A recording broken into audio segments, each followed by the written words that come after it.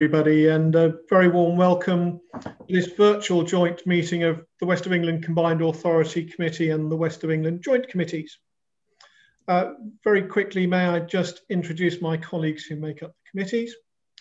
Councillor Toby Savage, leader of South Gloucestershire Council, Mayor Marvin Rees, Bristol City Council, Councillor Dina Romero, leader of Bath and North East Somerset Council, Councillor Don Davis, leader of North Somerset Council, and a very warm welcome as well, please, to Professor Steve West, uh, who, as the chair of the local enterprise partnership, joins us as part of this committee in a non-voting capacity.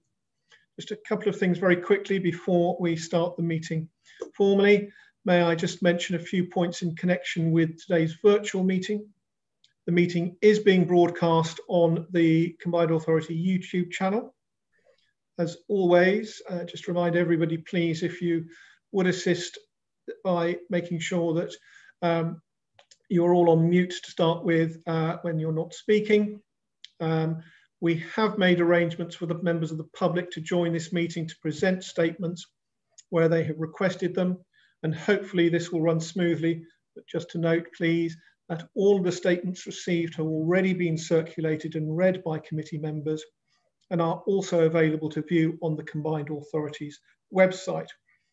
One other very quick point, if I may, as we are uh, working in terms of virtual meetings, uh, Shazia is always very, very thorough in ensuring that our legal process works correctly. And I'd just like to confirm that committee members have all had the papers circulated to them in advance of today's meeting and if at any point a member loses connection and requires us to repeat any part of the debate, then please indicate this prior to voting. Otherwise, we will assume that you have all read the papers fully and are in a qualified position to be able to vote. Um, just before we start the formal meeting, um, I'd just like to begin by saying that I'm sure everybody here, all the members of the committee and everybody joining us uh, will join me in remembering the tragic events in Avonmouth yesterday, uh, and particularly in remembering the four people who so sadly lost their lives as a result of that tragic incident. I also, on behalf of all of us, pay tribute to the amazing work of all of the emergency services that responded to the incident and their professionalism and dedication Don, I know in your capacity as chair of Avon Fire and Rescue, you do an awful lot of work with other members and please again I'd be grateful if you could pass on our best wishes to those that you work with but also extend those very very kind wishes and thanks to all those others involved in that event. I know a full investigation is underway uh, and that Wessex Water are working very closely with the Health and Safety Executive to understand just what's happened and why. But I think it would be fitting everybody and members here if we could just spend a minute in silent reflection uh, and tribute and as a matter of respect to the tragic events of yesterday. If you join me, please.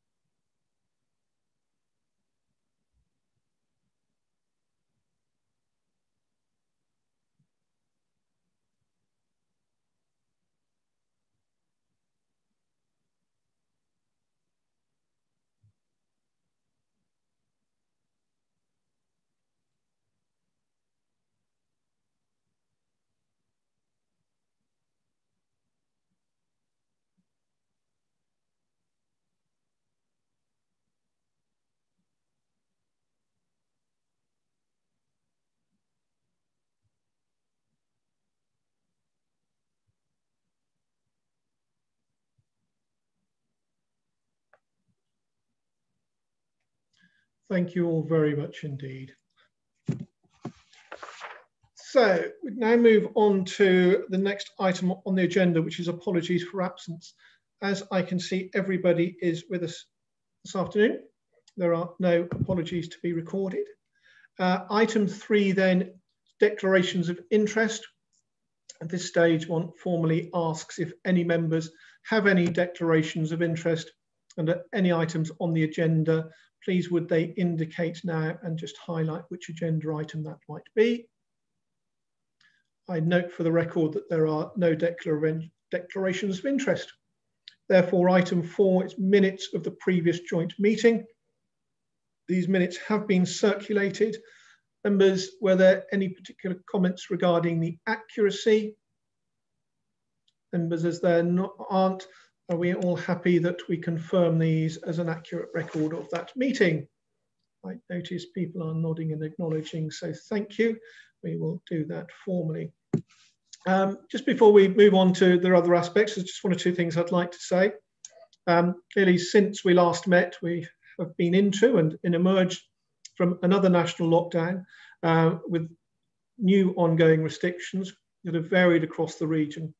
We appreciate this will pose its own challenges, but earlier this week, uh, we were met with the welcome news that the UK has become the first country in the world to approve a vaccine for use. So we hope we can look forward to a better year next year in that sense. So we appreciate the struggle isn't over, um, but we do realise that we're on hopefully a road to where we can start getting back to some sense of a normal way of living and working alongside mass testing. And I'm very mindful to Steve West from earlier conversations about sterling work that all of our universities are doing in working with our students in that space. You'll remember that earlier this year, we published an ambitious recovery plan to rebuild our business, get residents back into good jobs, and plan for a green recovery that strengthens inclusion and renew, renews our places. And it's very important that we continue to work on that basis and keep working collectively to make sure that we see a positive future for the whole region. As part of that, we've uh, secured additional AEB funding to help those who are unemployed get back into jobs. And we're making sure that the 23 million pounds of additional restrictions grants is delivered consistently um, across the some 2,000 West of England businesses who applied and that we're extending the Low Carbon Challenge Fund with an additional 1.8 million pounds investment. And our thanks to all of our councils and all of their teams who are working so hard on those grant applications. Uh, and of course, this complements the significant investments we've already made in regional initiatives, including our Metro West rail network, business support and innovation programs, our workforce for the future and future bright programs to make sure our region really is as strong as it can be as we move forward into those next stages of our economic recovery. And we continue to get uh, our region moving. Last week, the Chancellor confirmed multi-year transport funding for the combined authority regions from 2022 to 23 so that we can continue to deliver our ambitious sustainable transport plans. And it was very significant to note that there was new funding for cycling and walking, and I'm sure we're all very pleased to see feasibility funding for the St Anne's Park station in Bristol. And as part of our future transport zone, we've launched our e-scooter trials in Bristol and Bath last month. Really interesting that since the start of the trial, in spite of COVID, more than 10,000 people have taken almost 26,500 individual rides on the new technology that we've introduced across both Bristol and Bath. And if we didn't have a combined authority, this is the sort of funding that we wouldn't have been able to attract and deliver. That's why it's really important that uh, I and the rest of us all work in the future across the Joint Committee regions to make sure we're all committed to continuing to work together. And I know I'm looking forward a little later to look not just at the combined authority programs, but at the One Front Door programs that will support projects across the whole of both the WECA region and North Somerset to make sure we develop that prosperous and long-term future. So thank you for just a couple of comments there from myself. We will now move on to item six, which is items from the public, um, which covers questions, statements. So to date, I beg your pardon, at the close of uh, the notice period, we had received 15 questions that were submitted to the meeting. And as usual, details have been circulated and written answers have been provided. In terms of statements, We received 75 statements uh, and we've made arrangements for those members of the public who indicated that they would like to speak today to join us. And I'll shortly ask Ian to do the honours in that.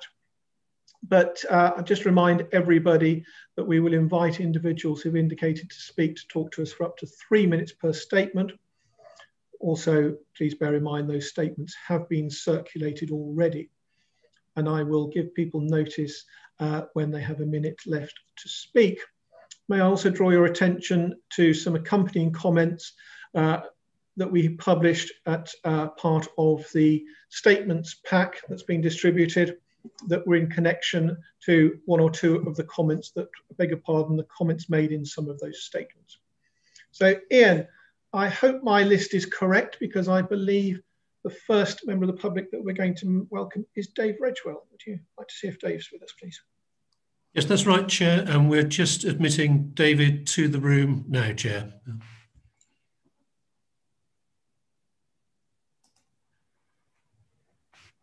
Just connecting now.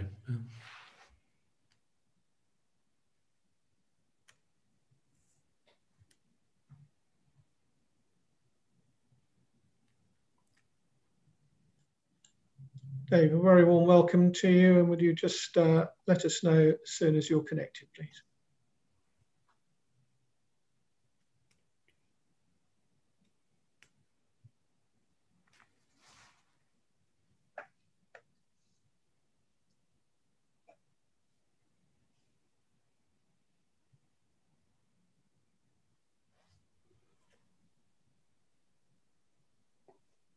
Dave, I think I can see you and I can see you've gone off mute. Very warm welcome to you as always. Dave, you know the form, but you are welcome to talk to the committee for up to three minutes. I'll remind you when we've got a minute or so left. Dave. Thank you. Oh, I want to think the first most important thing I'd like to say on behalf of the transport user groups and the unions is we need to get North Somerset Council into the West England Combined Authority. There's no doubt about that for geographical, for economic reasons, for public transport, and for planning. We need North Somerset as part of the city region. So I'm just urging everybody today to look at this with Luke Hall and with Patrick and with um, the Secretary of State and to make sure that we make progress on this in discussions and negotiations with Luke Hall, the Minister. And we have meetings to make sure that happens between the four leaders. And we meet with um, uh, the Secretary of State as well as the, the junior minister. I think the other the other point I would make about that issue is time is against us, and we need to get a deal over the line. We definitely need a second devolution deal to improve public transport, to bring in things like the cost of running public transport in North Somerset.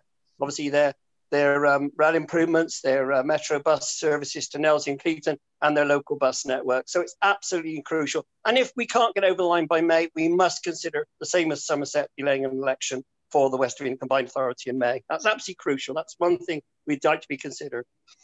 On the domestic issues, rather than just the issue of the politics of expanding WECA, um, on buses, we're certainly very keen to make sure there are plenty of Christmas buses. We're aware that the 18 and 37 aren't running this Christmas, and I think that needs to be taken up by the officers. That's Bitton, Kingswood area, Bristol, Bath, um, without bus services links into Bath and Keynsham. Uh, HCT Group, we want to see uh, screens fitted immediately onto their vehicles. Uh, they run in of the hospitals on Bristol Community Transport contracts, WECA and North Somerset. And we're also very keen on the rail projects. I welcome everything. I welcome the money for the Marvin Rees and yourselves got for St Anne's Park Station with Tim Repton, the local councillor. We need to make sure that we find a way forward on Charfield and Gloucester Line and Henbury. I notice they're not full of the uh, process at the moment. So I'm very keen to see progress there. I think we all agree with yourself, uh, Mr. Mayor, on the issue of the tier level. I hope this doesn't happen again for a public transport nightmare trying to travel between Bath and Bristol, North Somerset and B&NES. I, I was very grateful you spoke out. I mean, it's a nightmare for enforcement by the Avon and Somerset Police, British Transport Police, and COVID marshals to try and keep people in the Bristol Bath conurbation and not slipping into Bath or slipping up to Gloucester or down Not to the Mendips.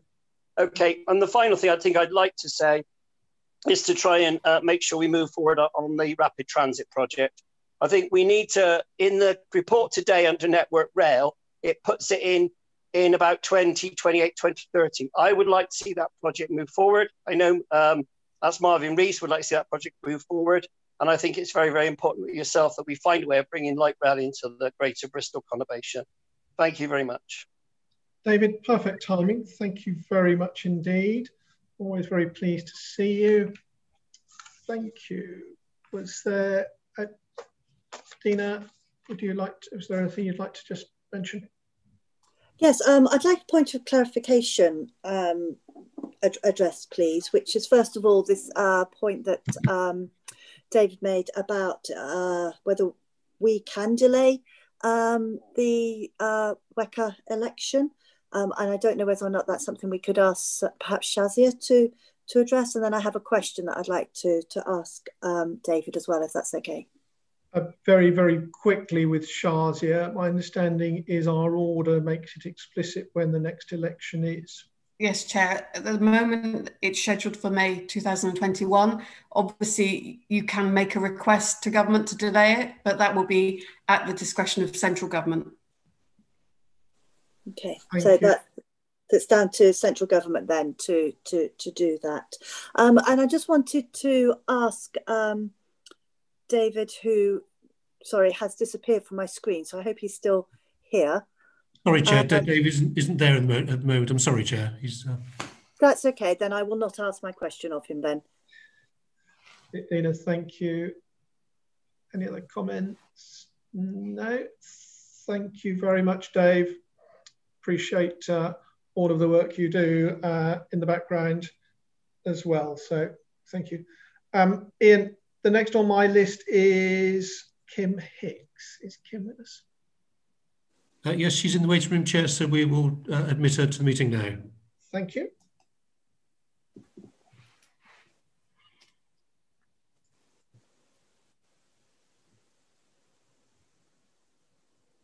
Should just be connecting. There we are. Hello, Kim. Hello. See you. And good. Thank you. Your audio is working. I think you've spoken to us in the past, but just to remind you, you're welcome to talk to the committee for up to three minutes, and I'll give you a reminder as we're approaching that time. Thank you. Over to you, Kim. Thank you. My request to WECA is simple. Please delay the closing date for the planning of, for the future survey, not just over Christmas, but until you are confident that a true cross-section of the WECA residents will be able to actively engage and respond. The survey timescales covers a lockdown, and while the majority of the area are still under tier three restrictions. Local volunteer people want to help at the moment, but they are physically unable to help get the message out on WECA's behalf to help those that need it. It is really important that everybody has the opportunity to have their voices heard when contributing to a document that will be so important for years to come. Telling non-digital people online that they can ask for hard copies does not actually work. For us that use new technology, it is very easy to become complacent. The offline alternatives are only good for online people who actually know about them. Not being online should not be a disadvantage. You are asking for views to make sure that the SDS plan reflects the priorities of the people who live, work and play in the WECA area. By not reaching those who are not non-digital or need help to complete the survey, you will not be able to achieve the aim of the survey. It is appreciated that the survey is not mandatory or a legal requirement. But if it excludes so many people, it will not be robust evidence to work with. We are told there's a light at the end of the tunnel. If you do not delay the closing date until the light shines brighter, you will be not cr creating a plan built on solid foundations. The lessons from the failed JSP must be learned or you risk making the same mistakes again that would be a waste of even more time and money. Please do the right thing and delay the closing date until you can be confident that all residents have the opportunity to be involved and have their voice heard. In answer to my written questions, you say a notification. Another 30 seconds, Kim. In answer to my written questions, you say that notification went out to every consultee of the JLTP4 and other surveys. Presumably, this was sent online. I rest my case. Thank you. Kim, thank you very much. Dina, I think you got your hand up. I have indeed. Thank you. Thank you, Mayor. Um, Kim, um, really lovely to see you. Um, I, I, mean, this is clearly uh, an equalities issue. So, to you, to your mind, are there other ways that could have been used and perhaps should have been used to alert people uh, to to the survey? Well, while the lockdown's on, the only alternative is either phone calls or letters but as you say, it's difficult uh, for people to request that if they don't know that it uh, is something that is out there. So That's perhaps right. we need to take on board that and ensure that we don't just rely on online media, but utilise, um, you know, radio and, and uh, TV at the very least in order to ensure people do know about this. That's right. I mean, the local group's been very, very helpful in previous surveys, and we've done a lot of voluntary work to help get the message out to make sure that people's voices are heard. Uh, we can't do that at the moment. We can't go knocking on doors um, and doing all the things we've done in previous surveys. Thank you. Thank you for bringing that to our attention. Thank you. Dina and Kim, thank you both very much indeed. Um, the next speaker on my list is Jackie Head, I believe. Is Jackie with us here? Yes, just admitting her to the meeting now, Chair.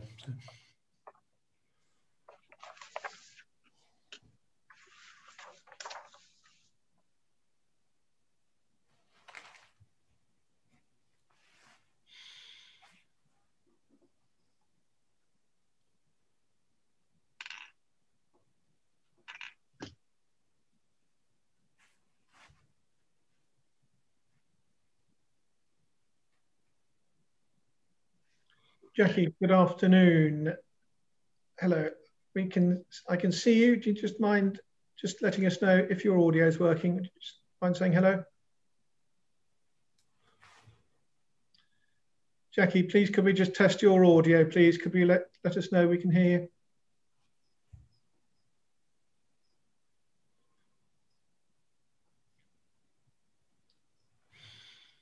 Jackie, we're struggling. I'm not able to hear you. Could you just let us know if your microphone's working, please? Sorry, helps if I put my headphones headphones on. That's Say that one more time. Thank you. That's perfect. It's always worth just double checking these things. So, Jackie, good afternoon. Thank you for joining us. Uh, you're very welcome to talk to the committee for up to three minutes, and I'll give you a reminder when you're nearing your time. Over to you. Thank you.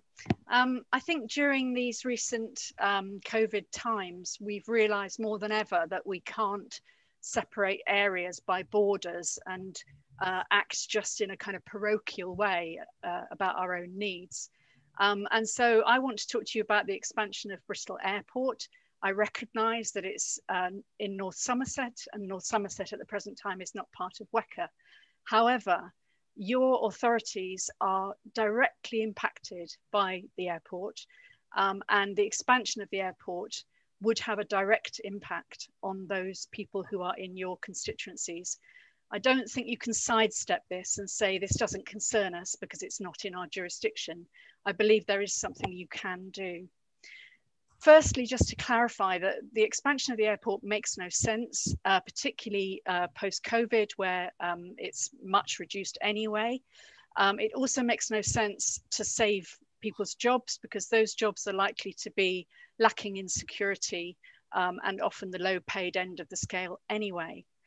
Um, I, I, think it also makes no sense in terms of the climate and nature emergency that um, you are trying to address within your own authorities given that that is the case, and given that B&NES has already um, publicly uh, said that they do not support the expansion of the airport, I would like WECA to also take the bold step and make the same statement um, clear and public.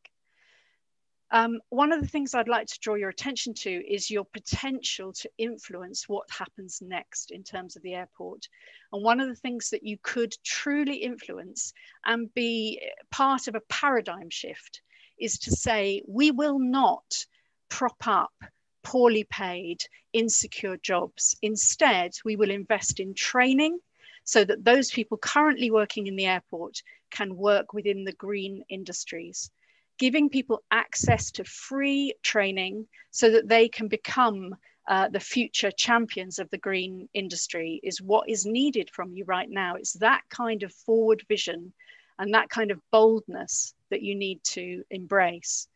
Um, and I believe that although you are not directly responsible for decisions made in North Somerset Council, you can lead the way. You can. Seconds, you can use your influence uh, to, to change the way that we're thinking about the issue of the airport. Thank you.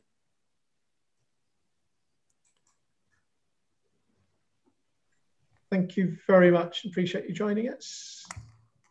And thank you for your comments. And it, in that case, thank you. Um, Ian, I believe the next person is Rachel Lunnan on my list. Is Yes, Chair, and she's just joining us now. Oh, uh, sorry.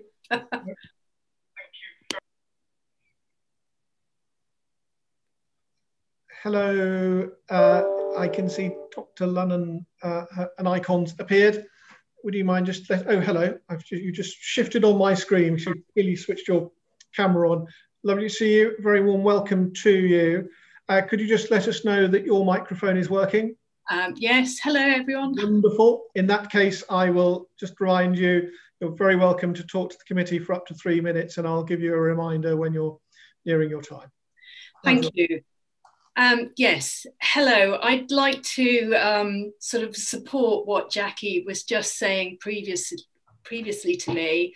Um, I also want to talk about airport expansion and to really ask you, WECA, to publicly come out and oppose the airport expansion. So we've got Boris Johnson's just announced our new ambitious targets for reducing carbon, um, and yet um, those don't include aviation emissions. But the thing about those physical processes that are driving climate change is they don't care where the emissions come from. Um, Mark Carney, former governor of the Bank of England, is currently giving Reith lectures where he's talking about how we cannot leave our future up to the market alone. And he is talking about the climate and ecological emergency there. And so, what I'm saying to you is, we've got a moral duty to protect our children and all young people, as well as our future selves. And that duty includes leaving them a habitable earth. So I want you to recognize that and, as Jackie said, come up with a, a statement opposing airport expansion. And I really want to see, I, I, know that people are really worried about jobs and employment, but we can have a green and environmental um, economy and recovery, and that's what we need. Thank you very much. Rachel, Dr. Lunnan, thank you very much. I was just sending a quick message to Ian because I'm afraid we seem to have lost Dina, which is unforgivable. So would you mind just seeing if we can um, get Dina back in, please, Ian? Um, Dr. Lunnan, thank you very yes, if, if, she tries to reconnect, Chair, we'll get her back in as soon as we possibly can. But, um... Thank you. I will uh, send her a note. Dr. Lennon, thank you. I was just looking to colleagues if they had any comments. No, in that case, thank you very much. Appreciate you taking the time to come and talk to us. Thank you for your statement, which has been shared with everybody. Thank you very much indeed. And Ian, the next person we have is Councillor Allinson. And in the meantime, I'll try and text Dina her to reconnect you. Would you like to let Brian? Yes, and uh, Councillor Allinson is joining us now, Chair. That's...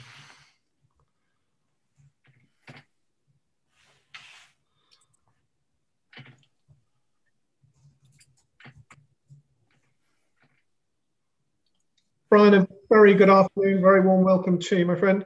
Um, I think you're probably familiar with the score here, but you're very welcome to talk to the committee. We're up to three minutes, and I'll give you a reminder when we're getting a little near the time. Thank you very much. Uh, thank you for the opportunity to speak to the report that I've already submitted, and I know you have copies. So I will just uh, restrict myself to sticking to the, the major points. The, the, the real issue, of course, is the Parkway Railway Bridge, built over 70 years ago now, which was adequate at the time and, and, and until recent years caused no problems at all.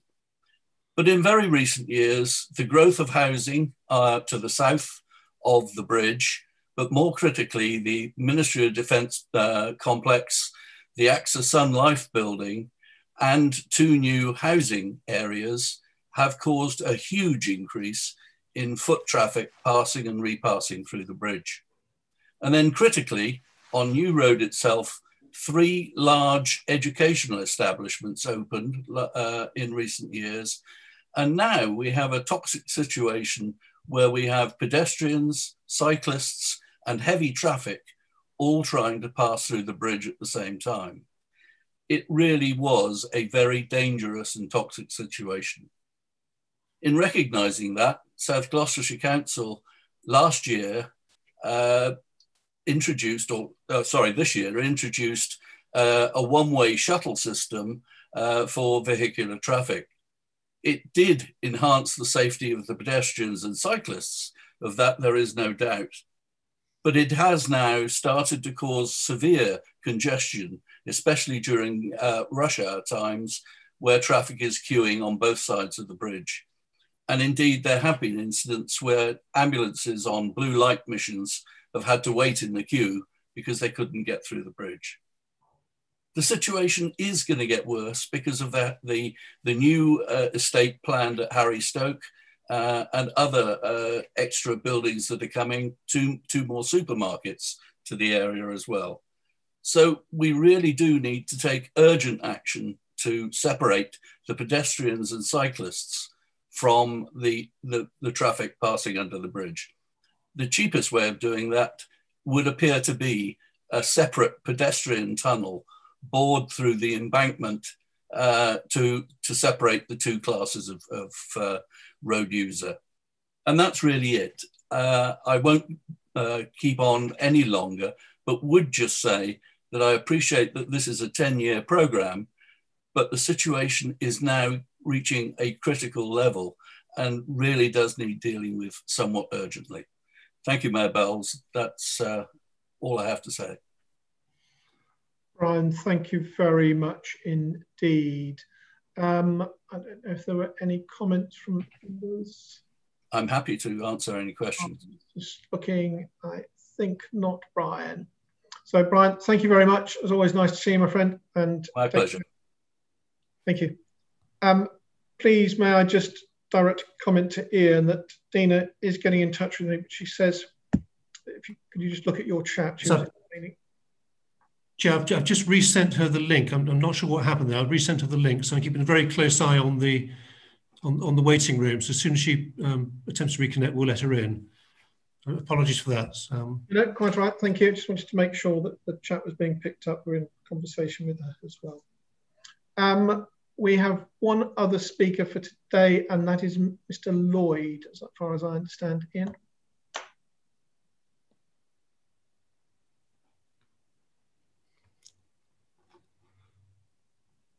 Uh, yes, he's just connecting, Chair.